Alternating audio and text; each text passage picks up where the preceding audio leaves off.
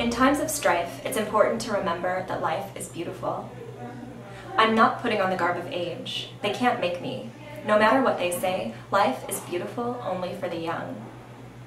Life is beautiful, but this sunset leaves something to be desired. Freud said all you need is a penis and a baby and life is beautiful. If life is beautiful, I must be dreaming. A piece of music, a little chunk, wrapped in cellophane. That means life is beautiful. Even from the bottom of a well, you can see stars.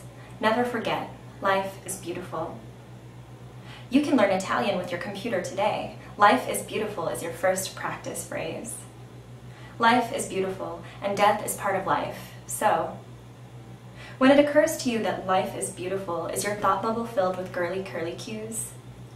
Life is beautiful in the morning, less so in the late afternoon. Creepy crawlies and nasty beasties aside, life is beautiful.